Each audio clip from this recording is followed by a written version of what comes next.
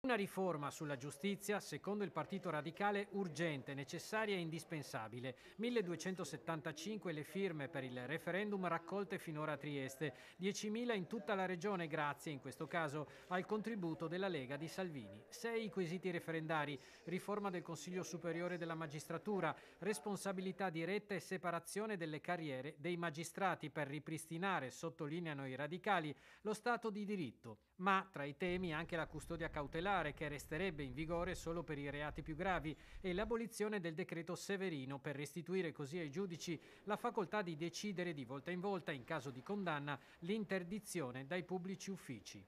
È necessaria perché in Italia ci sono 22.000 persone in carcere in custodia cautelare in attesa, di, in attesa di un processo, è necessaria perché ci sono oltre 1.000 persone che ogni anno vengono dichiarati innocenti, è necessaria perché se un pubblico ministero, un giudice sbaglia, anche lui come tutti i cittadini italiani deve pagare per i propri errori.